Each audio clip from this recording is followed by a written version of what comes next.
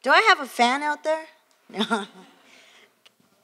Good evening, everyone. Uh, it's, it's such a huge pleasure to be here. I'm Lisa Salazar uh, with Mayor Garcetti's office. Um, I actually work on workforce development and education policy for the mayor.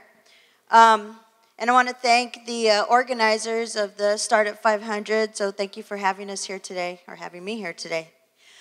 I want to just start off by saying that I love LA. And I don't, I don't mean LA, the city. I mean the region. I mean everything from the high desert down to the ocean to the Orange County border. Because this is the place to be. Los Angeles has experienced a huge growth in the technology ecosystem. And it's so, so exciting.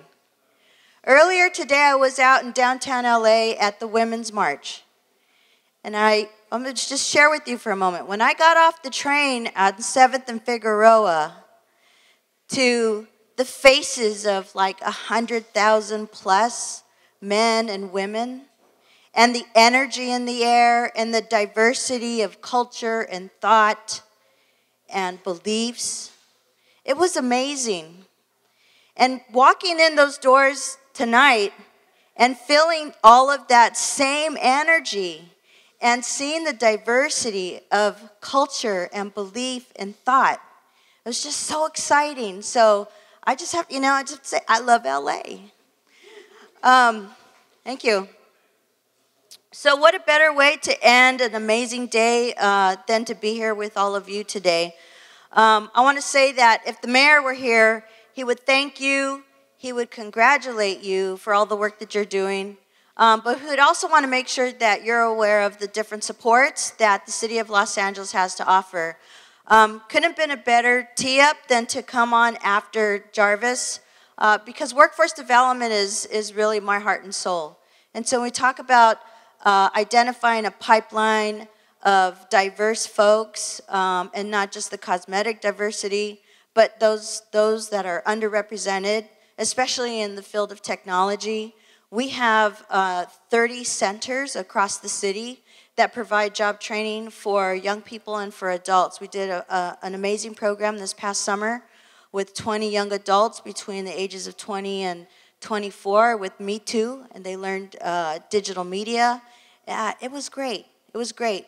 There are a lot of very talented uh, young people and adults who live in the city of Los Angeles that represent those diverse communities. Um, so please use us as uh, your access point to that. Um, Jarvis mentioned the Bixel Exchange, which is run out of the Chamber of Los Angeles.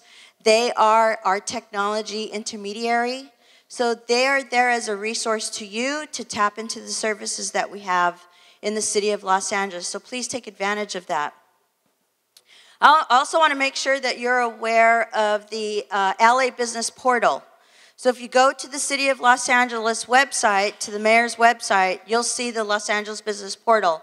And what we have there is a, a startup package that helps uh, entrepreneurs uh, develop a business plan.